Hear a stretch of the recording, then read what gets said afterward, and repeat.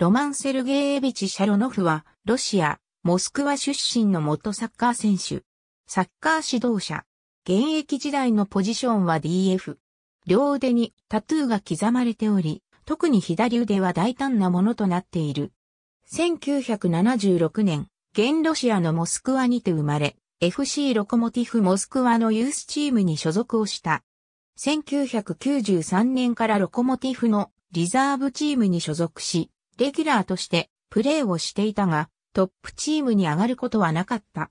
1997年には上海に本拠地を置く上海フバオ FC に移籍をした。翌年ロシアに戻り、1999年に FC ルビン火山へ移籍。2002シーズンにクラブはロシアファーストディビジョンで優勝を果たし、ロシアプレミアリーグ昇格を決める。シャロノフはレギュラーとして出場しクラブの昇格に貢献をしたが、トップリーグ2年目はクラブから契約更新を求められることはなかったため、FC テレクグロズヌイに移籍をした。2007年、FC 新肉ヤロスラブリに移籍するも、契約不履行により1年で退団。古巣の FC ルビン火山へ2年契約で移籍をした。2008シーズンのプレミアリーグ開幕戦のロコモティフ、モスクワ戦では、決勝ゴールを挙げ、その年クラブはリーグ優勝を成し遂げる。翌年も優勝し2連覇を達成。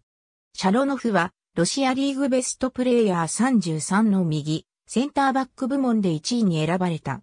2009年12月、ルビン火山との契約を2年延長した。同月、膝の靭帯を損傷し、全治6ヶ月後と診断され手術を受けた。ルビン火山ではキャプテンを務めた。2004年3月21日、ブルガリア代表との親善試合に招集されロシア代表デビューをした。その年に行われた UEFA ユーロ2004では、ロシア代表に選出されたが、1試合目のスペイン戦では22分と88分にイエローカードを受け退場した。2004年9月4日に行われたスロバキアとの試合を最後にしばらく代表からの招集はなかったが、2012年5月11日、UEFA ユーロ2012に向けた代表候補の26人にサプライズ選出され、同月26日に行われたウルグアイ戦で約8年ぶりに出場を果たした。